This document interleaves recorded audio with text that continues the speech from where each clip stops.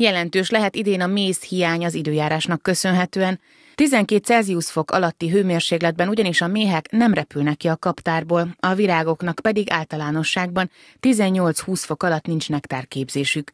Ha 12 foknál melegebb volt, akkor is csak virágporgyűjtésre tudták elhagyni a kaptárakat a méhek, de ez az elmúlt időszakban ritkán fordulhatott elő, a hideg idő miatt szinte alig-alig tudtak kirepülni a kaptárból.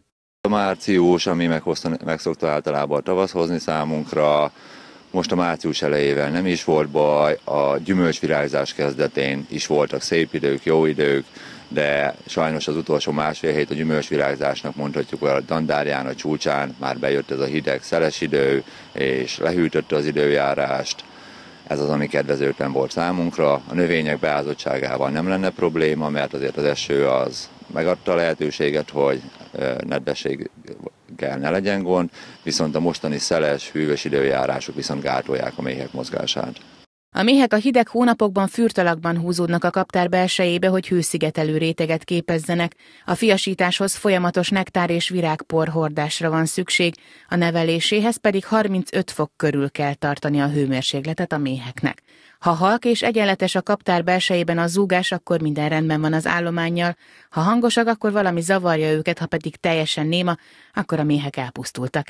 Itt Dombrádon, ez az Országos Magyar Méhész Egyesület egyik bemutató telephelye, ahol fekvő és rakodó kaptárrendszert is használnak a szakemberek.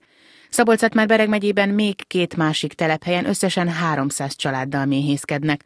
Az elmúlt hetekben volt, amikor már ellenőrizni tudták a mécsaládokat, és így láthatták a szakemberek, hogy mennyi mézre számíthatnak idén gyümölcspákról való pergetett méz nem lesz jellemző, akár itt a megyről, szilváról, cseresznyéről nagyon sokan vándorolnak rá, nem fognak tudni róla pergetni.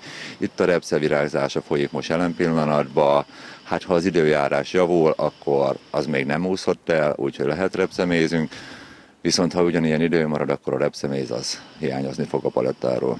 A hőmérsékletnek tartósan legalább 22 Celsius fok fölé kell emelkednie a napokban, hiszen a repce még körülbelül másfél hétig virágzik.